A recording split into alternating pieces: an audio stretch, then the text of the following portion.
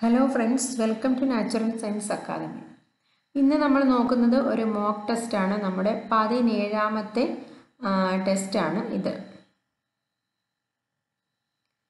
ആദ്യത്തെ question potato and brinjal belongs to the genus പൊട്ടറ്റോയും ബ്രിഞ്ചാളും വരുന്ന ഉൾപ്പെടുന്ന ജീനസ് ഏതാണെന്നാണ് ചോദിച്ചിരിക്കുന്നത്. Option A Solanum B Homo C Oryza D Panthera ഇതിന്റെ ആൻസർ വരുന്നത് അതായത് പൊട്ടറ്റോയും ബ്രിഞ്ചാളും ഉൾപ്പെടുന്ന ജീനസ് വരുന്നത് സോളാനം എന്ന ജീനസിലാണ് ഉൾപ്പെടുന്നത്.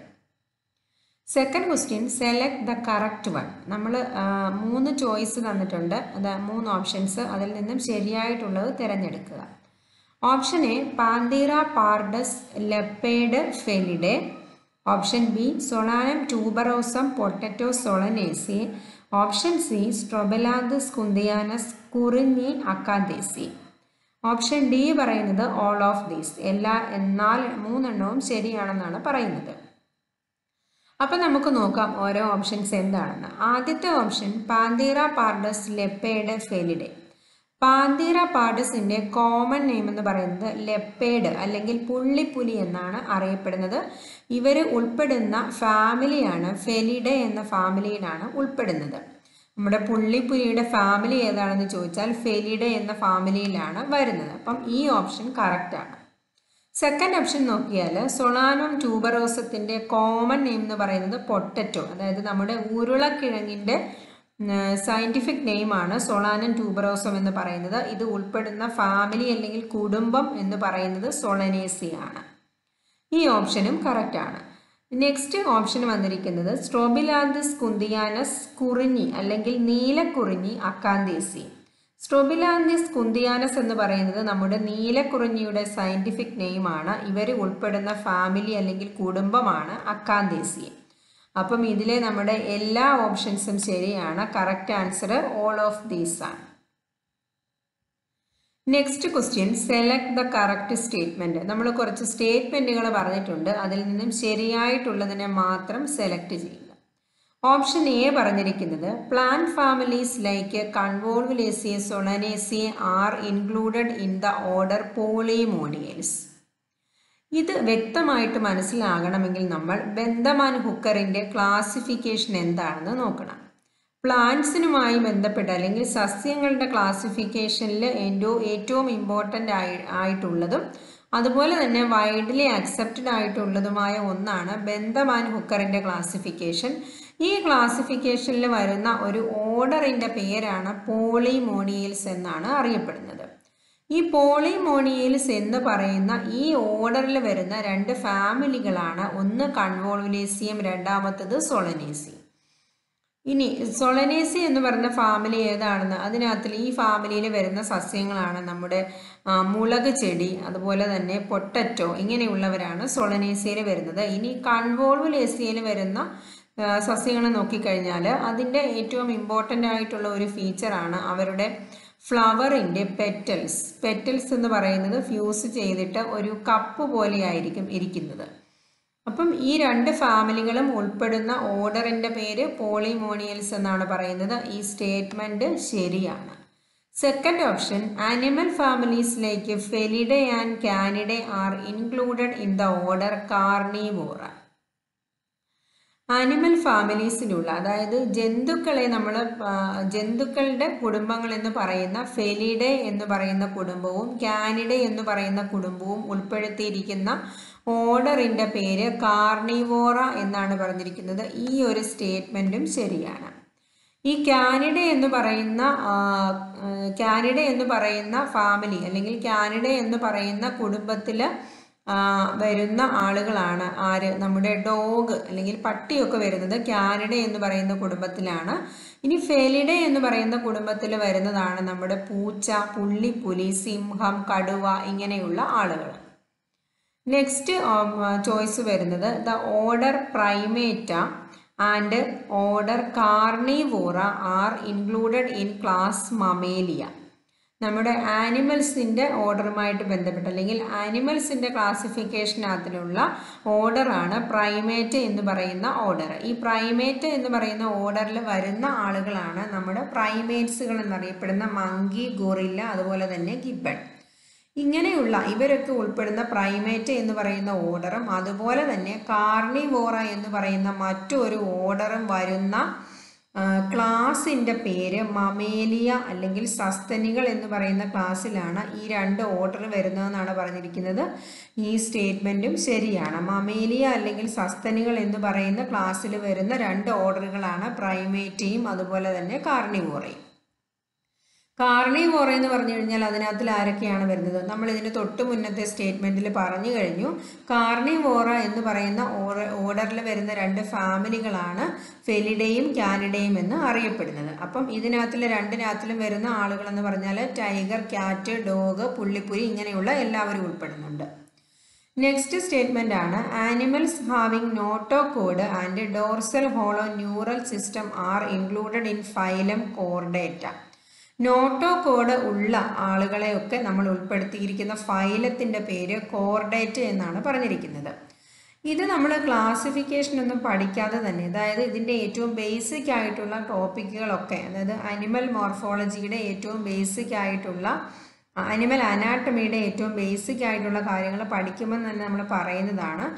കോർഡൈറ്റ് എന്ന് പറഞ്ഞു കഴിഞ്ഞാൽ എന്ത് ക്യാരക്ടർ ഉള്ളവരാണ്? നോട്ടോ കോഡ് ഉള്ളവരെയാണ് നമ്മൾ കോർഡൈറ്റ എന്ന് പറയുന്ന കാറ്റഗറിയിൽ ഉൾപ്പെടുത്തിയിരിക്കുന്നത്. അപ്പോൾ ഈ സ്റ്റേറ്റ്മെന്റും ശരിയാണ്. ഈ മൂന്നാമത്തെ ക്വസ്റ്റ്യന്റെ കറക്റ്റ് ആൻസർ വരുന്നത് ഓൾ ഓഫ് ദീസ് ആണ്. എല്ലാ ഓപ്ഷൻസും കറക്റ്റ് ആണ്. ഫോർത്ത് ക്വസ്റ്റ്യൻ വരുന്നത് the number of common characteristics decreasing from species to kingdom ഈ ഒരു സ്റ്റേറ്റ്മെന്റ് ശരിയാണോ തെറ്റാണോ എന്നാണ് ചോദിച്ചിരിക്കുന്നത്.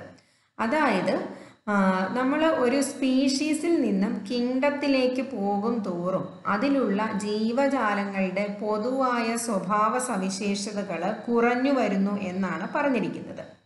നമുക്കറിയാം സ്പീഷീസ് എന്ന് പറയുന്നത് ടാക്സോണമിൽ ഹൈറാക്കിയിലുള്ള ഏറ്റവും താഴത്തെ ലെവലിലുള്ളതാണ് സ്പീഷീസ് എന്ന് പറയുന്നത്.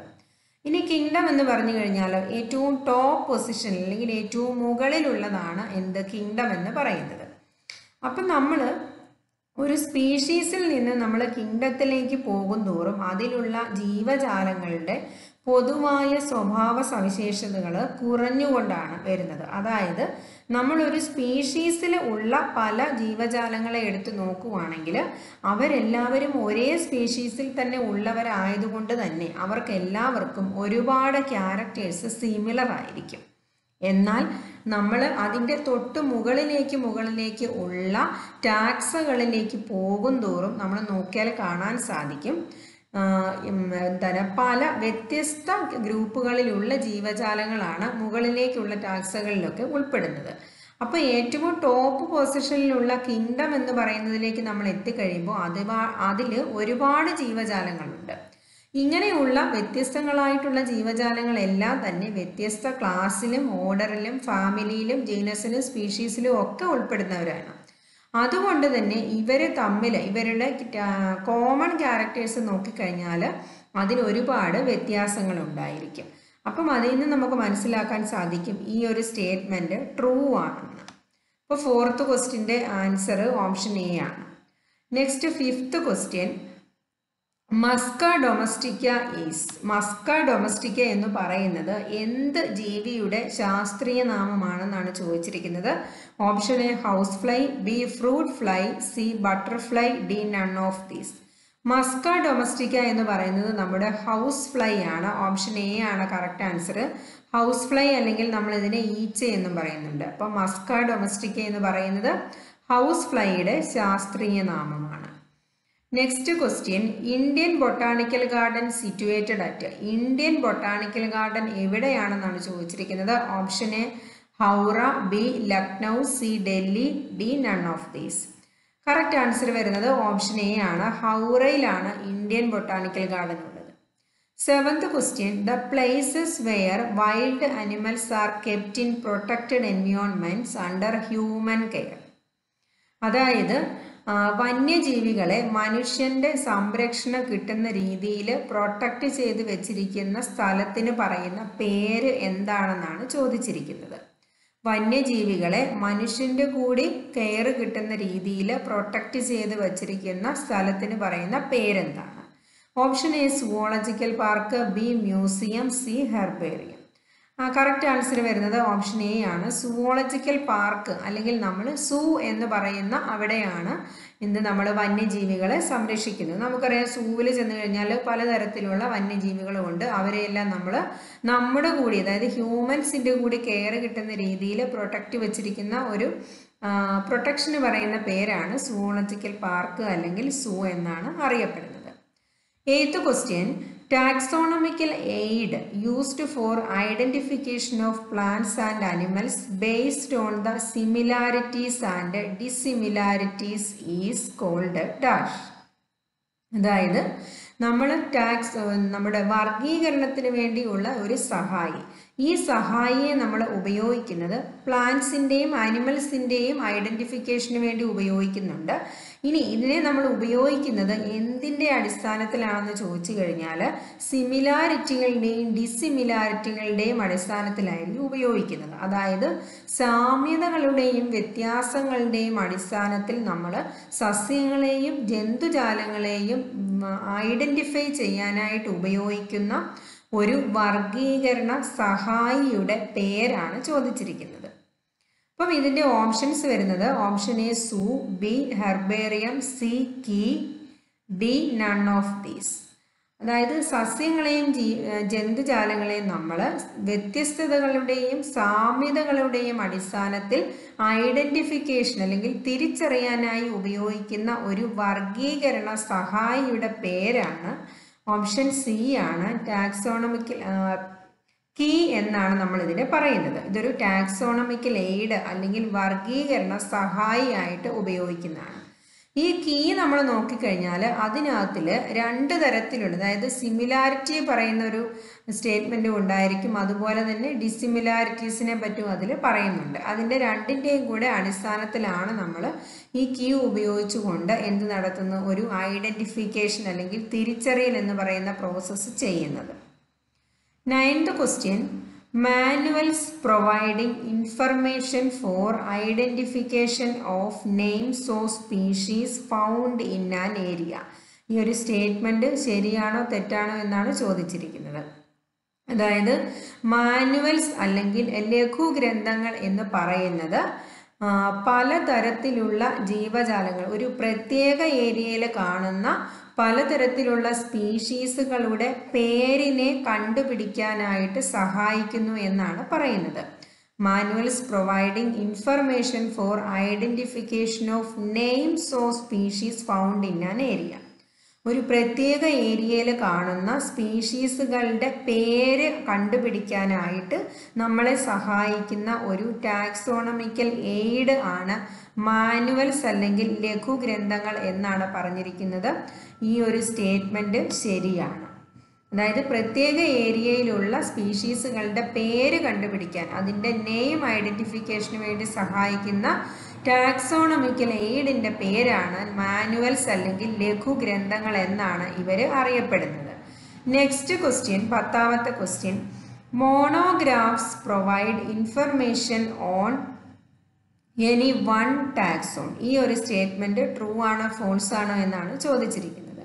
മോണോഗ്രാഫ് എന്ന് പറയുന്ന ടാക്സോണമിക്കൽ എയ്ഡ് മോണോഗ്രാഫ് എന്ന് പറയുന്നതും ഒരു ടാക്സോണമിക്കൽ എയ്ഡ് അല്ലെങ്കിൽ ഒരു വർഗീകരണ സഹായിയാണ് ഈ മോണോഗ്രാഫുകൾ നമ്മളെ സഹായിക്കുന്നത്. ഒരു ടാക്സോണിൽ ഒരു ഒരു പ്രത്യേക ടാക്സോണിനെ പറ്റിയുള്ള ഇൻഫർമേഷൻ കിട്ടാനായിട്ട് അല്ലെങ്കിൽ ഒരു പ്രത്യേക ടാക്സോണിനെ പറ്റി മാത്രമുള്ള ഡീറ്റെയിൽസ് നൽകുന്ന ഒരു വർഗീകരണ സഹായിയാണ് മോണോഗ്രാഫുകൾ എന്നാണ് പറഞ്ഞിരിക്കുന്നത്. ഈ ഒരു സ്റ്റേറ്റ്മെന്റും കറക്റ്റാണ്. അപ്പം ഇന്ന് നമ്മൾ ഡിസ്കസ് ചെയ്തത് പത്ത് ക്വസ്റ്റ്യൻസ് ആണ്. മറ്റൊരു ക്ലാസ്സുമായി നമുക്ക് വീണ്ടും കാണാം. താങ്ക്